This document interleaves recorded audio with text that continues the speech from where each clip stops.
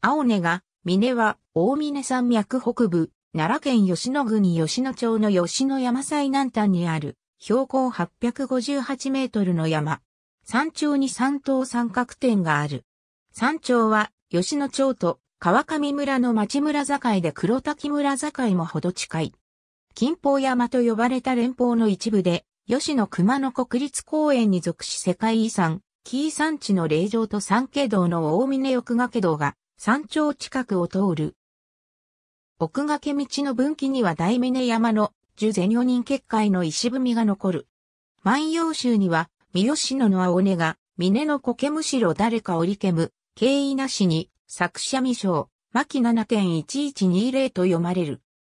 古来より水分山とも呼ばれた神ナビ山で、山の水は東へ流れると音無川となり、影楼の滝を経て吉野川に注ぐ。北は、木佐、谷川、万葉集に歌われる象の川で、桜木神社を通り吉野宮跡とされる、宮滝の対岸で吉野川に注ぐ。西は秋の川となり、樫の町並みを通り吉野川に注ぐ。南は脇川で黒滝川、入川となり、五条市で吉野川に注ぐ。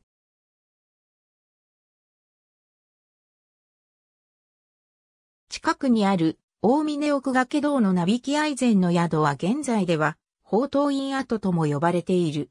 明治の廃仏希釈まではこの付近に安全寺という寺院があり、多宝刀、四方正面堂、安全寺座王堂などの建物が点在していた。